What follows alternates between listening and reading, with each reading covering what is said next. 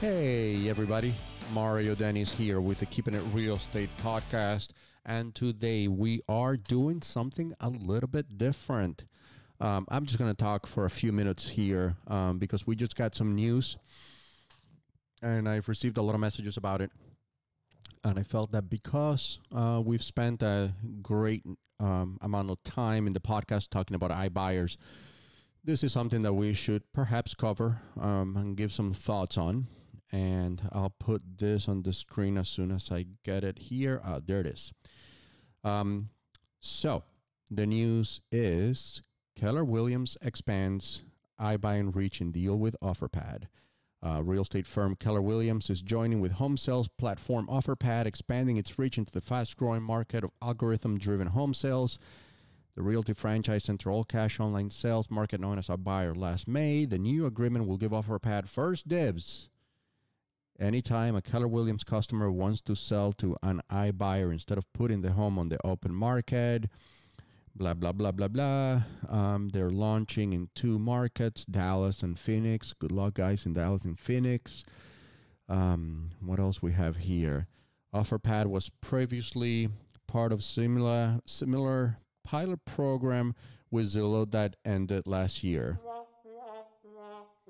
After Zillow decided it would begin buying homes and selling homes by itself, the new venture with Keller Williams is much more formalized, said CEO of OfferPad. Uh, last month, Open Opendoor struck an agreement with the brokerage Redfin. Uh, sorry, I like my little sound effects here. Um, which will allow sellers to request a quote from Opendoor on its website. In recent earnings call, Redfin CEO Glenn Kelman said the move was meant to allow users to get access to iBuyer offers when it cannot meet um, demand. Um, the article is in the Wall Street Journal, so you can um, go and read it anytime. Um, I'll tell you my thoughts on it. My two cents that are, I don't know if I said that already, but my two cents that are less than two actual cents um, is very simple. I know a lot of Keller Williams agents, a lot of them. I was an agent in Keller Williams myself for a number of years. In fact, the best real estate agents that I know came from Keller Williams or spent time in Keller Williams. And I don't know that that's necessarily a coincidence. I think um, that's part of the systems that um, that were in place at one point and the training and the growth of that company. However, this is not something that I can get behind, man. This is bad news. The agents that I know from Keller Williams are awesome. They are some of the best real estate agents that I know. Like I said, um, they do not need this bullshit shiny object on their tool belt in their tool belt to go and talk to sellers. The good Keller Williams agents that I know can go into a listing appointment, slay a listing, take it, sell it, and make sure that that seller makes a whole lot more money than they are going to make if they sell to an iBuyer. So, who does this benefit? I don't know. I'm not sure it benefits the agents, that's for sure. Um, and I think that this is one of those times where, um, in my opinion, um, there is, you know, we always hope in our business that the interest of the brokerage and the interest of the agents kind of like move together, but oftentimes they move separately. And maybe this is one of those times. I'm not sure. I mean, I don't necessarily think that this helps the agents. It surely doesn't help the consumers.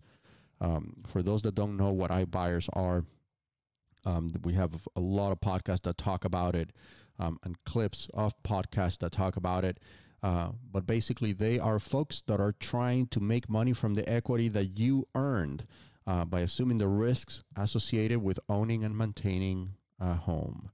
Um, buyers are still doing a lot of things that I don't necessarily agree with, like not advertising what the convenience fee is going to be upfront, meaning if you go to their website, you don't know how much they're going to charge you until you give them all of your personal information, your home's information, and all other details. Um, and then they send you an offer that discloses what is going to cost you. But at this point, you've already given them all your information. By the way, if you're a consumer and you're saying, well, what does it matter if I give them my information? Let me explain something to you. The holy grail of real estate lead generation is sellers that are ready, willing, and able to sell. Um, so don't think that information is just going into the shredder and no one is ever looking at it. That is very valuable information for real estate agents to know.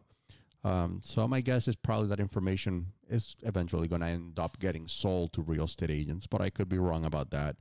Um, so they're data mining, meaning they're taking your information um, in order to sort of lift the veil of the cost associated uh, with selling them your home. Then they uh, they send you. I've seen some some of them send like this net sheet side by side where they compare what they are offering you to what a traditional real estate transaction would look like.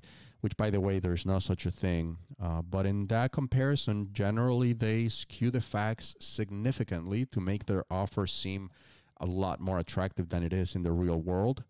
Um, and then they do inspections, and most of the time, I think they are going to be hitting you up for a bunch more money after the inspections um, in order for you to cover the repair costs or the upkeep costs um, of whatever the inspection report reveals. Something that is not customary in home sales in our market in that two to five hundred thousand dollar price point.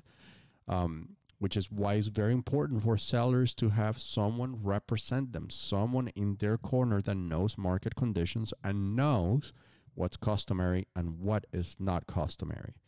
Um, so, again, um, if there is someone listening to this that um, wants to have a discussion about it, Keller Williams agents that, that disagrees with my assessment on it, that they think this generally is going to bring value to their arsenal, um, I'd love to hear their reasoning about it. Um, I I'm I'm very much invested in having reasonable conversations with people um, about things, even when we disagree, um, and we can do that here.